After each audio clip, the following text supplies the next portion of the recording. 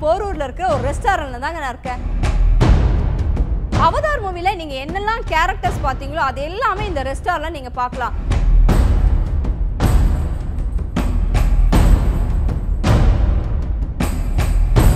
Crispy chicken ma'am இது வந்துட்டு.